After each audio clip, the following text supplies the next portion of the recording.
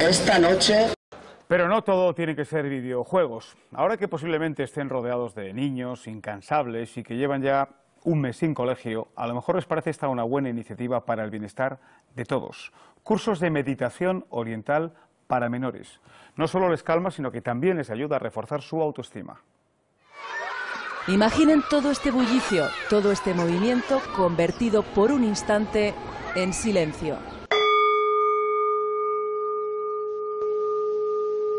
Lo más importante es mantener la espalda recta, pero a la vez relajada. Intenta mantener los ojos entreabiertos. La clave, concentrarse en los movimientos de su propio cuerpo. En las sensaciones de la respiración. ¿Es posible adaptar la meditación a los más pequeños? Los niños de hoy en día están eh, hiperestimulados muchos estímulos externos, casi no tienen tiempo, tienen la agenda casi o más ocupada que, que los padres y es muy bueno como ellos experimentan inmediatamente los resultados de la meditación. Cuando te enfadas, puedes después meditar y te relajas. Cuando me peleo con alguien, siempre me voy a un sitio que nadie me vea y me tranquilizo.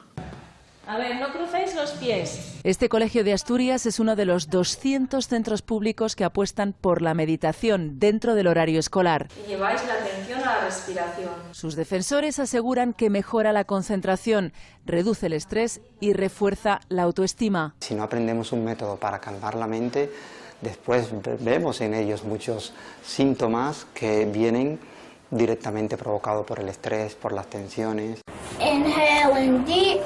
En este colegio de Baltimore, en Estados Unidos, hace tiempo que cambiaron los castigos por la meditación. Los conflictos se han reducido y ha mejorado el rendimiento académico. Aprenden a escucharse y a convertir los sentimientos negativos en energía positiva.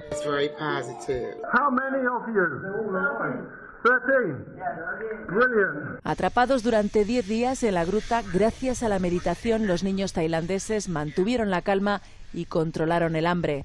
Su entrenador, ex monje budista, les enseñó las técnicas. Hubiera sido mucho más el sufrimiento para ellos si no hubieran meditado.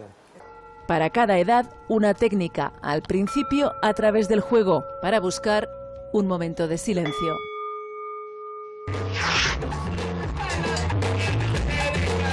En Málaga, más que meditar, bailan. Cerca de 70.000 personas han acudido este fin de semana